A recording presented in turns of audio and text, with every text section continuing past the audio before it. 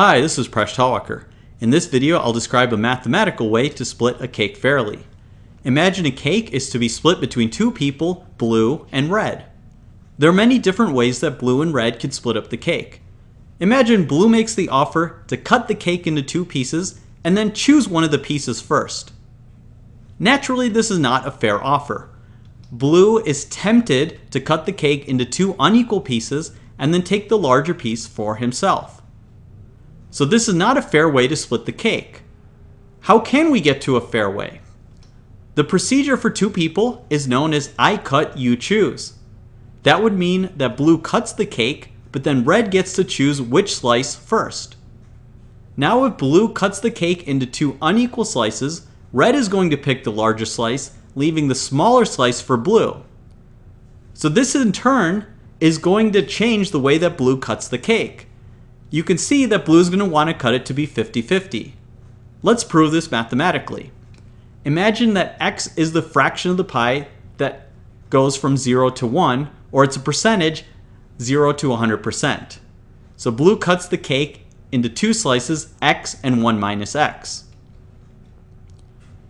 Red is going to pick the larger of the two pieces, written as the maximal function of x and 1 minus x.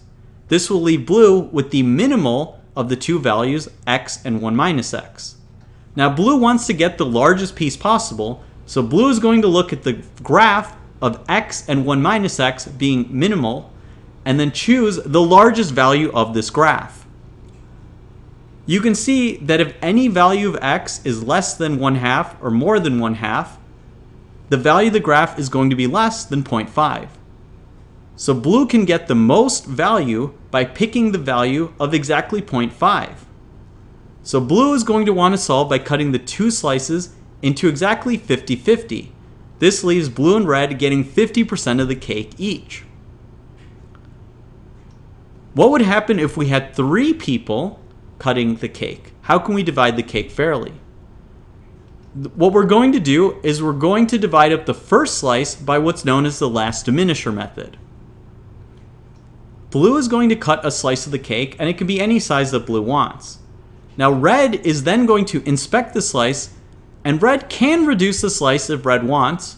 So let's say red cuts the slice and then attaches the remaining part of the cake together. So now this is the slice that red has cut.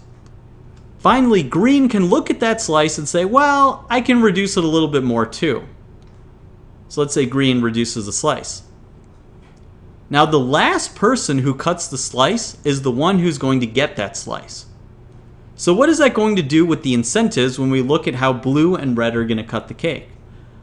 Well, if blue or red actually make a cut to less than one third, then blue or red, no one's going to want to cut the cake after that. So the person who cuts it to less than one third is going to end up with less than an even split. So no one's going to want to make the slice too small to begin with. But on the other hand, blue or red are not going to want to leave more than one third.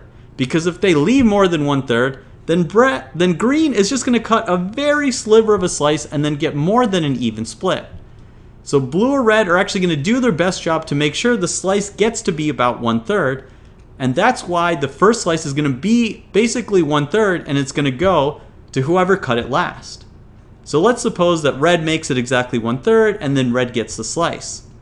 So now we have a situation where blue and green still need slices of the cake and there's two thirds of the cake left. So how can we get two people to split up the remaining two thirds of the cake evenly? Well, we've already solved that problem. We have blue and green play the I cut, you choose procedure for two people. So let's say blue cuts the cake and then green gets to choose first. As we've just shown, this is going to result in a 50-50 split of the remaining cake. So now blue and green end up with also slices which are one third each. So now we've cut the cake into three different slices and three people have shared the cake evenly to be one third. This last diminisher method can be generalized if we have even more people. It works inductively.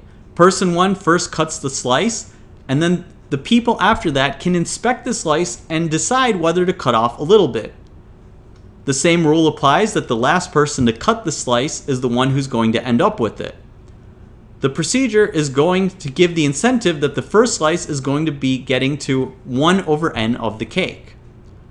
We then repeat the procedure after that one person gets the slice, and then the remaining people are going to use the same method to cut the next slice. And for the very same reason, the next slice is also going to be 1 over n, and so on. We keep repeating this until there are exactly two people remaining, at which point they do the I cut you choose method, and they are also going to end up with 1 over n of the cake. So this is the mathematically fair way that you could split up the cake between any number of people. I hope you like this video. Please subscribe to my channel. I make videos on math and game theory. You can catch me on my blog, Mind Your Decisions, which you can follow on Facebook, Google+, and Patreon. You can catch me on social media at Presh Talwalkar. And if you like this video, please check out my books. There are links in the video description.